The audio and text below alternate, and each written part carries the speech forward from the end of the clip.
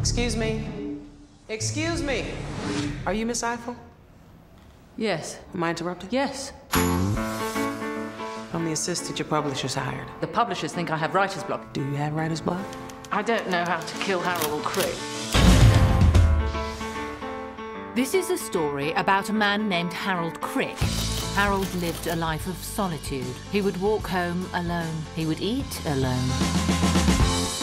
When others' minds would fantasize about their upcoming day, Hello? Harold just counted brush strokes. All right, who just said Harold just counted brushstrokes? Dave, I'm being followed. How are you being followed? You're not moving. It's by a woman's voice. She's narrating. Oh. Harold couldn't concentrate on his work. I can't think while you're talking. You have a voice speaking to you. About me, accurately, and with a better vocabulary. Harold found himself exasperated, Shut up! cursing the heavens in futility. No, I'm not. I'm cursing you, you stupid voice, so shut up and leave me alone! So you're the young gentleman who called me about the narrator.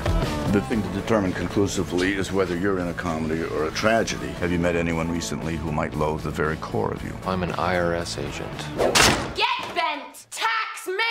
Everyone hates me. Well, that sounds like a comedy. Have you written anything new today? I figured out how to kill Harold Crick. Little did he know that events had been set in motion that would lead to his imminent death. What? Why? Hello? Come on! This woman, Karen Eiffel, is one of my favorite authors. That's her. That's the voice. She's the narrator. Karen Eiffel, my name is Harold Crick. I believe you're writing a story about me. Is this a joke?